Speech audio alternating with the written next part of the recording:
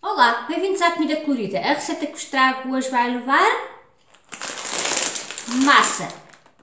Vou usar esta massa em espiral. É claro que podem usar a massa da vossa preferência, também podem usar as versões sem glúten, que são muito boas. Há várias marcas no mercado, eu já tenho usado algumas até e são uma delícia.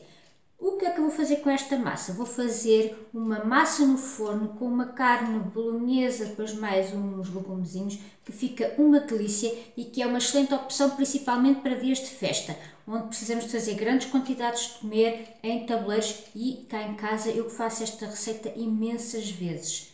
Querem saber como é que é, não é? Então vamos à receita.